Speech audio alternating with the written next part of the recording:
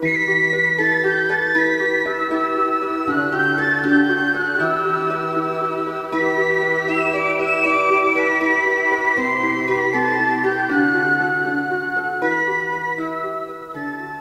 αδελφός σου.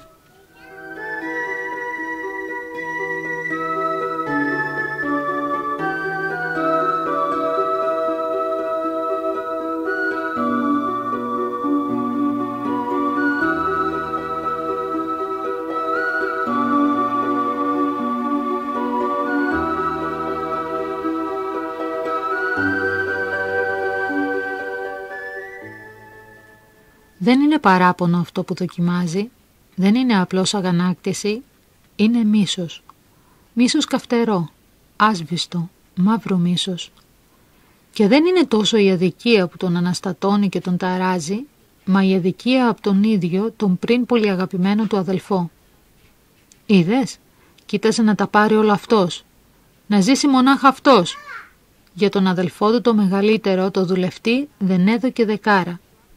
Την κατάφερε τη γριά και του άφησε τα περισσότερα και τα καλύτερα χωράφια.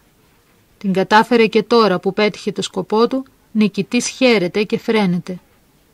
Μα όχι, τον γέλασαν. Ο Θανάσης είναι άντρας, είναι παλικάρι.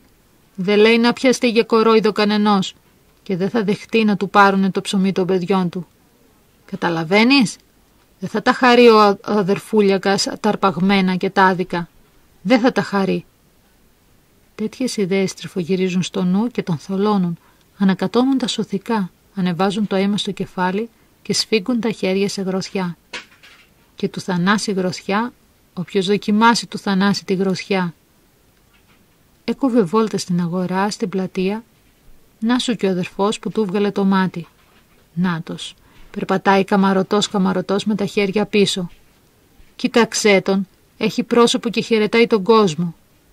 Όλο γελάει. Έτσι είσαι, θα σου δείξω εγώ.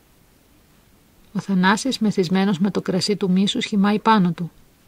Τα χέρια τους σκληρά, σιδερένια, τιμωρά χέρια, ανεβοκατεβαίνουν στην πλάτη, στο στήθος, στο κεφάλι του συμφεροντολόγου, του ατομιστή, του ανάξιου αδερφού. Όμως έπεσε στη μέση το χωριό. Πρόφθασαν και του τον άρπαξαν από τα χέρια.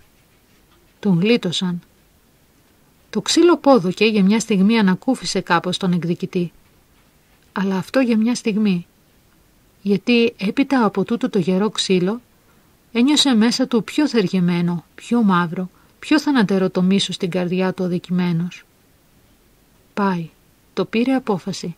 Θα τον σκοτώσει. Ναι, κανένας δεν θα τον γλιτώσει για δεύτερη φορά από τα χέρια του. Θα τον σκοτώσει. Θα κάνει λίγες μέρες υπομονή να θαρέψει ο άλλος να μην φυλάγεται και τόσο και θα τον σκοτώσει. Πήρε το περίστροφό του. Το επιθεώρησε. Το κρύψε καλά μέσα στη ζώνη του. Βγήκε στην αγορά. Έμαθε πως ο αδερφός πήγε στο χωράφι. Στο χωράφι που δεν του ανήκε. Εντάξει λοιπόν, εντάξει. Τούτο το χωράφι θα γίνει ο τάφος του κακού αδερφού. Μη χασομεράει άλλο ο Θανάσης, μη χασομεράει, Καθώς κίνησε να φύγει, τον αντισκόβει ο διανομέας του χωριού. «Κυρθανάση, πάρε!» «Τι να πάρει» «Το χριστιανικό περιοδικό» λέει. Του ήρθε να βάλει τις φωνές. Όμως μόνο που μου γκριξε πνιγμένα. Δίπλωσε το έντυπο με βία και το κρύψε στην τσέπη. Βγήκε έξω από το χωριό. Ακολούθησε το φιδωτό δρομάκι και προφυλακτικά προφυλακτικά έφτασε στη μεγάλη αγραπηδιά. Κρύφτηκε πίσω από τον κορμό του δέντρου. Κατασκόπεψε τον τόπο. Ο αδελφός του είναι καταμόναχος και κάνει ζευγάρι, το στερνό του ζευγάρι. Σκεφτός σκεφτός, πηδάει στο βαθύ χαντάκι ο Θανάσης. Προχωράει, προχωράει.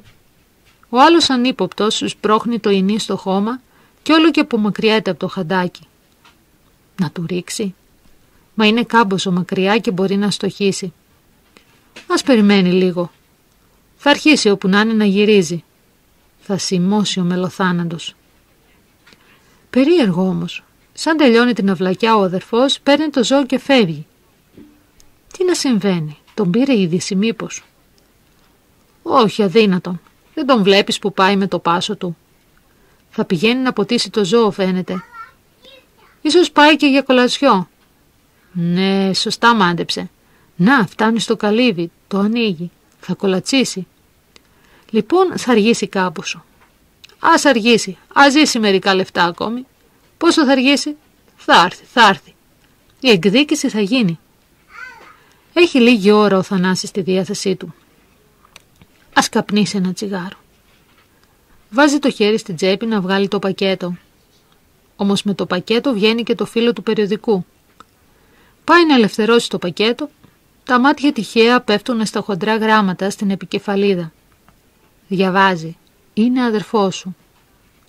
Τούτος ο λόγος του φέρνει ταραχή. Διαβάζει και πιο κάτω. Παράξενα τα λόγια του άρθρου. Έχουν μια αλλιώτικη δύναμη. Οφείλεις να τον αγαπάς τον αδελφό σου και αν δεν εφέρθει καλός απέναντί σου, την κρίση να την αφήσεις στον πατέρα σας, στο Θεό. Πάντοτε ο πατέρας είναι δικαιότερος από τα παιδιά. Κάτι αλλάζει μέσα του. Κάτι αλλάζει γύρω του. Σαν να ξεσκότησε.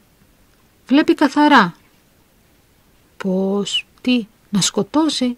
Ποιο να σκοτώσει. Τον αδερφό του. Για λίγο χώμα. Για μερικά μέτρα γης να σκοτώσει τον αδερφό του. Να γίνει Κάιν. Να γίνει αδελφοκτόνος, αδελφοφάγος. Ανατριχιάζει. Πετάει μακριά το περίστροφο. Πετιέται από το χαντάκι. Φαίνεται βιαστικός και τώρα. Ο αδερφός του έρχεται. Τον βλέπει ο αδερφός του. Ο άνθρωπος τα χάνει, τον φοβάται. Το βάζει στα πόδια, θέλει να σωθεί. Ο Θανάσης όμως τον κυνηγάει. «Στάσου Δημήτρη, στάσου αδερφέ μου». Ο άλλος πού να σταθεί; «Φεύγει, φεύγει». Ο Θανάσης τον ακολουθάει κατά πόδι. Τον φτάνει. Τον αρπάζει στα αθλητικά του χέρια, τον σφίγγει στην αγκαλιά του. Τον φιλεί. Μη με φοβάσαι, μη φοβάσαι Δημήτρη μου, σ' αγαπάω, σε αγαπάω, είμαι ο αδερφός σου. Το περίστροφο το πέταξα. Μέσα στο χαντάκι είναι και σκουριάζει. Είμαστε αδέρφια, έτσι γράφει το χριστιανικό περιοδικό. Πρέπει λέει να είμαστε αγαπημένοι. Με καταλαβαίνεις; Να είμαστε αγαπημένοι ως αδέρφια. Να θέλεις και να θέλω το καλό σου. Να είμαστε αγαπημένοι. Κλαίει ο Θανάσης. Κλαίει ο Δημήτρης. Το μίσος λιώνει με τη ζεστασιά της αγάπης τους. Το μίσος λιώνει μέσα στο δάκρυ τους. Χάνεται το μαύρο, τ' άγριο μίσος. Α, ο Λόγος του Θεού. Πόσα εγκλήματα προλαβαίνει ο Λόγος του Θεού. Τι ευλογία είναι για τον άνθρωπο, ο ζωοποιός, ο θαυματουργός και ανακαινιστής Λόγος του Θεού.